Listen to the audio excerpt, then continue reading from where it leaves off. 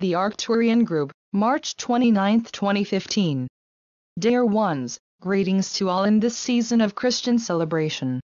Know that the death and resurrection remembered at Easter are meant to provide profound spiritual teachings for all, Christian as well as non-Christian.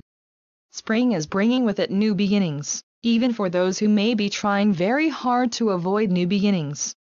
We speak now of those who believe that their learning curve is finished, and that they are now entitled to sit back and enjoy old age.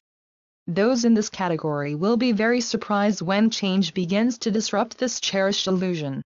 Everyone must be prepared for change both within and without, regardless of human age and its manifestations. Refuse to blindly accept into consciousness the beliefs and fears about aging being incessantly thrown at you by corporations, who stand to profit from your fears of age and deterioration. Individual human age matters not in the spiritual journey for in reality, everyone is as old as God. We emphasize change simply to remind all now on earth to not get too comfortable in the illusion, for you all made the choice to be a part of this powerful time of change in order to spiritually evolve, and then in turn, assist others. An energy field filled with light can lift those receptive and ready without words ever being spoken, and often even without any conscious awareness. This is what happened in the story of the woman touching the hem of Jesus' robe and being healed. It was not the robe, it was the very illuminated energy field of Jesus.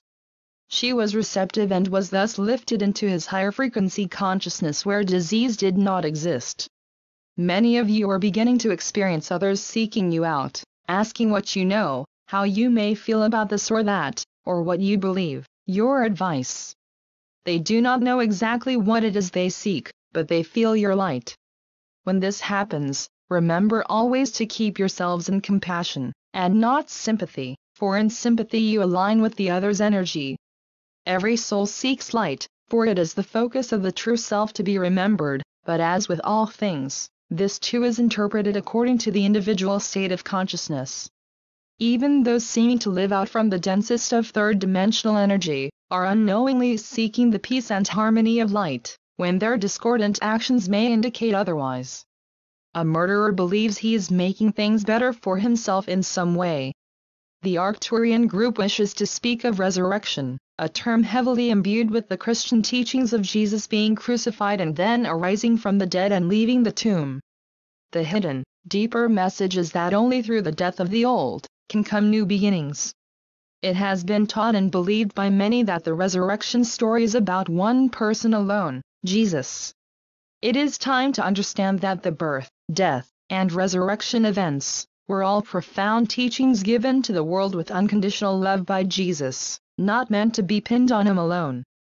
Death and resurrections have been experienced by all with varying intensity throughout lifetimes. You have all had them. Death and resurrection have been ongoing, serving to lift the soul to new levels of spiritual awareness through physical, emotional, and mental experiences, until at last there comes a final and profound death and resurrection in which the soul finally remembers itself.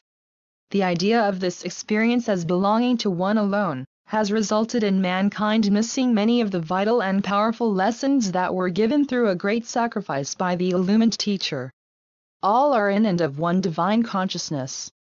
Jesus, an evolved being and master of light, incarnated to be the example, showing mankind that the way is within, but the consciousness of most were not able to accept this, and instead chose to make him into a god as many still do. The same is true of Siddhartha, who became the Buddha, and all the great spiritual lights throughout time.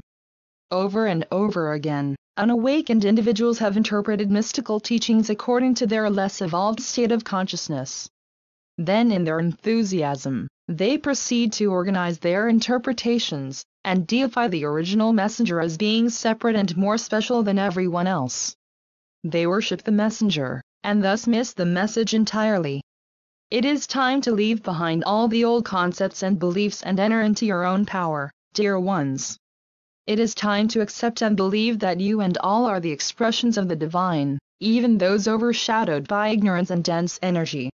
It is time to claim your divine sonship, your oneness, and your divinity. Easter represents a rising out from the tomb of false beliefs and concepts and is often preceded by whatever painful crucifixion experiences may be necessary in order to dissolve those firmly held concepts forming your personal world. Resurrection is universal, it is the phoenix rising from the ashes, it is the awakening of Siddhartha Gautama, under the Bodhi tree, and is the Master Jesus, emerging alive with divine light from the tomb. Just as the birth in a manger is symbolic of a new self being born from humble circumstances, so is Easter your story presented ever so lovingly by a great Master of Light.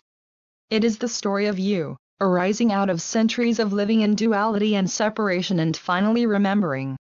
Arise, dear ones.